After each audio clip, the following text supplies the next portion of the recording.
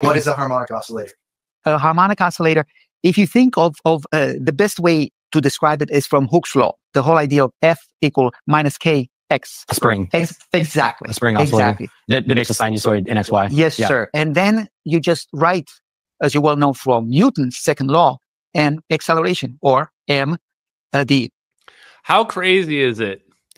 It really is when you this is all real by the way guys is that when you really just boil it down how you need to interact with this quantum energy it's all about resonant and resonance and frequency. Yeah everybody in the chat's got it right? Resonance and frequency. What is a spring?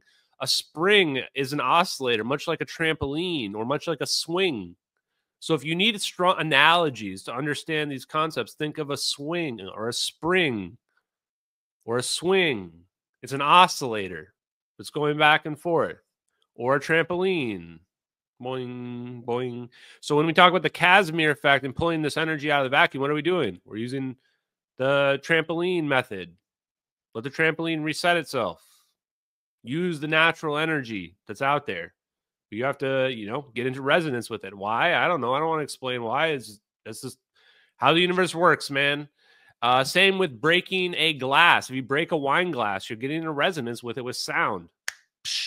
You hit the right frequency, boom, cracks. That's the secret. Turns out. I would not have thought that also several years ago. I would have thought that people that are into the resonance and what have you are the woo woo people or what have you. But no, turns out they were right.